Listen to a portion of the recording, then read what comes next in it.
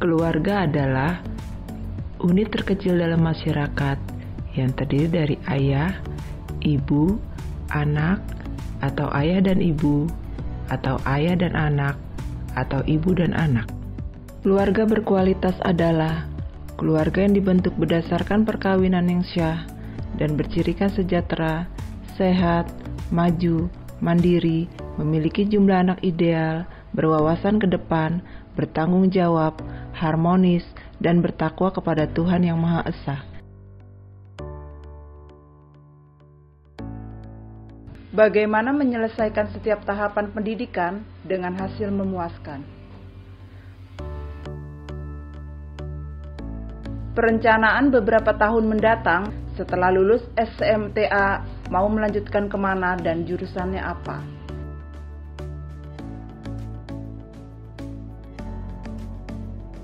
Menetapkan kapan dan pada usia berapa akan menikah, dan juga kapan harus mempunyai anak dan juga pekerjaan. Bagaimana membentuk keluarga berkualitas? Nikah secara syah di usia ideal sesuai program pemerintah.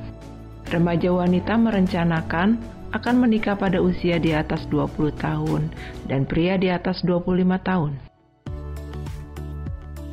Pada usia tersebut, kestabilan emosi sudah baik. Begitu juga kesiapan mental dan fisik yang menyangkut organ reproduksi sudah baik. Mempunyai anak setelah minimal setahun menikah. Tidak terjadi kekerasan dalam rumah tangga. Kepala keluarga memiliki pekerjaan tetap.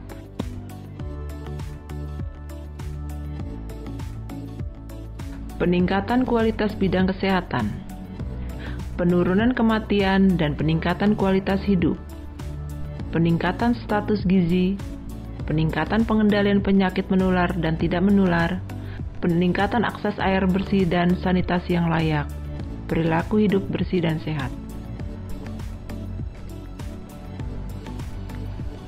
Peningkatan kualitas bidang pendidikan, peningkatan akses penduduk terhadap pendidikan, baik sisi ekonomi maupun fisik.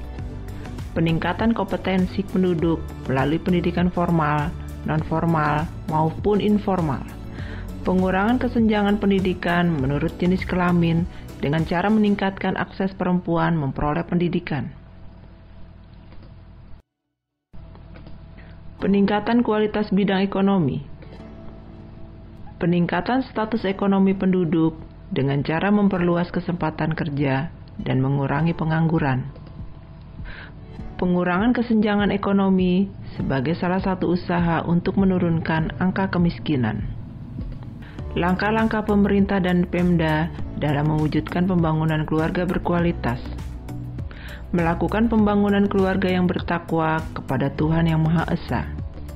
Melakukan pembangunan keluarga berdasarkan perkawinan yang sah. Melakukan pembangunan keluarga yang berwawasan nasional dan berkontribusi kepada masyarakat, bangsa, dan negara. Melakukan pembangunan keluarga yang mampu merencanakan sumber daya keluarga. Rangkaian kegiatan untuk keluarga berkualitas.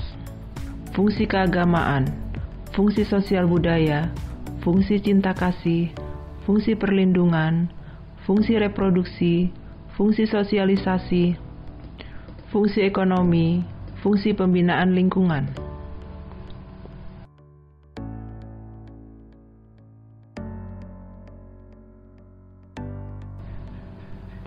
Fungsi agama 96% Mengamalkan segala ajaran agama sesuai kepercayaan. Fungsi sosial budaya 59% Menunjukkan bahwa gotong royong merupakan salah satu fungsi sosial budaya 44% Melestarikan budaya daerah dan adat istiadat 39% melaksanakan musyawarah. 33% menghargai antar suku dan golongan. Fungsi cinta kasih 62% kasih sayang kepada anggota keluarga lain. 53% menjaga keharmonisan keluarga. 47% saling percaya. 41% tidak pilih kasih. Fungsi perlindungan 51% memberikan perlindungan kesehatan terhadap keluarga. 50% memberikan perlindungan fisik. 44% memberikan perlindungan non-fisik. 43% pemenuhan kebutuhan sandang, pangan, dan papan. Fungsi reproduksi 50% untuk menghindari pergaulan bebas. 48% menjaga kebersihan organ reproduksi. 19% menikahkan anak di usia ideal. 29% memberikan pendidikan kesehatan organ reproduksi. Fungsi sosialisasi dan pendidikan 80% menyekolahkan anak. 44% mengajarkan anak untuk mandiri dan bertanggung jawab. 40% menjadi panutan. 16% melatih keaktifan anak.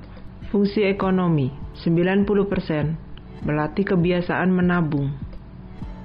68% melatih kebiasaan berhemat. 43% melatih untuk ulet dan bekerja keras. 37% mengajari konsep untung rugi. Fungsi lingkungan 76% menanamkan nilai kebersihan lingkungan. 69% tidak membuang sampah sembarangan. 25% melestarikan lingkungan. 18% hemat energi. Bagaimana membentuk keluarga berkualitas?